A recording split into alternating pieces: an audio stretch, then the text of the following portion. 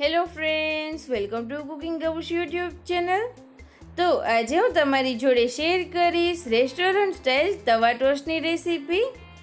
આ તવા ટોસ્ટ ખાવામાં ખૂબ જ ટેસ્ટી લાગે છે ને તેને ઘરે બનાવવા પણ એટલા જ ઇઝી છે.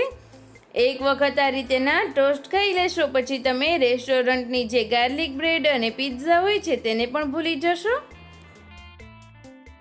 તમને મારી રેસીપી સારી લાગે તો પ્લીઝ આ વિડીયોને લાઇક અને શેર જરૂરથી કરજો. અને જો તમે ચેનલ ઉપર નવા હોય તો નીચે એક રેડ બટન આપેલું હશે. તેના ઉપર ક્લિક કરી ચેનલને સબસ્ક્રાઈબ કરી દો અને બાજુમાં આપેલો બેલ બટન પ્રેસ કરી દો. ગાર્લિક બ્રેડને પણ ભૂલાવી દે તેવા તવા ટોસ્ટ બનાવવા માટે મેં અહીંયા ચાર નંગ બ્રેડ લીધેલી છે. તમારે જેટલા પણ ટોસ્ટ બનાવવા હોય એટલા નંગ બ્રેડ લઈ શકો છો. ત્યારબાદ હવે આપણે તેના માટેનું એક બેટર બનાવીશું. બેટર બનાવવા માટે આપણે અડધો કપ જેટલો ચણાનો લોટ લઈશું અને તેને આ રીતે એક બાઉલમાં એડ કરી દઈશું. ત્યારબાદ તેમાં અડધી ચમચી જેટલું નમક, અડધી ચમચી જેટલું લાલ મરચું પાવડર અને અડધી ચમચી જેટલી આપણે હળદર એડ કરીશું અને તેને સરસ રીતે આપણે મિક્સ કરી દઈશું. ત્યારબાદ હવે તેમાં થોડું થોડું કરી અને પાણી એડ કરીશું અને ખૂબ જ સરસ એવું બેટર તૈયાર કરી લઈશું. તો તમે જોઈ શકો છો, આપણું બેટર એકદમ પરફેક્ટ તૈયાર થઈ ગયું છે. તેને આ રીતે આપણે થોડું થીક રાખવાનું છે. તો હવે આપણે તેમાંથી સરસ એવા ટોસ્ટ તૈયાર કરીએ. તેના માટે મેં આ રીતેનું એક પેન ગરમ થવા માટે મૂક્યું છે અને તેમાં આપણે લગભગ અડધીથી પોણી ચમચી જેટલું તેલ એડ કરીશું. તેલને આ રીતે સરસથી સ્પ્રેડ કરી દેવાનું છે. ત્યારબાદ તૈયાર કરેલા બેટરમાં આ રીતે આપણે બ્રેડ એડ કરશું અને તેને બંને તરફ આપણે બેટરથી કોટ કરી દેવાની છે. આ રીતે ત્યારબાદ હવે આપણે તેને તેલ પર એકદમ સરસ રીતે શેકાવવા માટે મૂકીશું. આ રીતે બેટરથી કવર કરેલી બ્રેડ ખૂબ જ સરસ લાગે છે. હવે સેમ એવી જ રીતે આપણે બીજી બ્રેડને પણ કોટ કરી અને શેકાવવા માટે મૂકીશું. એક તરફ સરસ રીતે શેકાઈ જાય, ત્યારબાદ આ રીતે તેની સાઈડ ચેન્જ કરી દઈશું.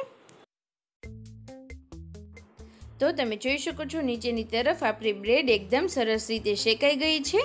હવે આપણે બંને બ્રેડને આ રીતે સાઈડ ચેન્જ કરી લઈશું પહેલાં તો. ત્યારબાદ હવે આપણે એક બ્રેડ ઉપર આ રીતેની જે ગ્રીન ચટણી તૈયાર કરીએ કોચમરી મરચાંની, તેને સરસ રીતે આપણે સ્પ્રેડ કરી દઈશું. મેં અહીંયા એક ચમચી જેટલી લીધેલી છે. અને સેમ એવી જ રીતે હવે આપણે બીજી બ્રેડ ઉપર ખજૂર આંબલીની ચટણી સ્પ્રેડ કરીશું. તમારે ટમેટો કેચઅપનો ઉપયોગ કરવો હોય તો એ પણ કરી શકો છો. ત્યારબાદ હવે આપણે તેના ઉપર આ રીતે સ્લાઇસમાં કટ કરેલા ડુંગળી અને ટામેટા એડ કરીશું. તમારે બીજા કોઈ વેજીટેબલ્સ એડ કરવા હોય તો તે પણ એડ કરી શકો છો. મેં અહીંયા ડુંગળી અને ટામેટા બંનેનો જ ઉપયોગ કરેલો છે. તો હવે બંને બ્રેડ ઉપર આપણે થોડો ચાટ મસાલો એડ કરીશું. અને હવે આ રીતે આપણે બંને ટોસ્ટ ઉપર ચીઝને સ્પ્રેડ કરી દઈશું. તમારે જેટલું પણ વધારે કે ઓછું ચીઝ એડ કરવું હોય એટલું એડ કરી શકો છો. તો તમે જોઈ શકો છો, ચીઝ સરસ રીતે સ્પ્રેડ થઈ જાય ત્યારબાદ તેના ઉપર આ રીતે આપણે થોડા ચીલી ફ્લેક્સ એડ કરીશું. અને લાસ્ટમાં આપણે થોડો આ રીતેનો ઓરેગાનો અથવા તો મિક્સઅપ સેટ કરી દઈશું. અને ત્યારબાદ આ રીતે ઉપરથી થોડી આપણે કોથમરી પણ એડ કરીશું.